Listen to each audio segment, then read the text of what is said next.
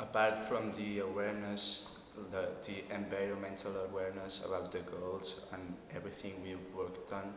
I think um, we all take home a part of this country and a part of its culture, and I think it's a very nice thing.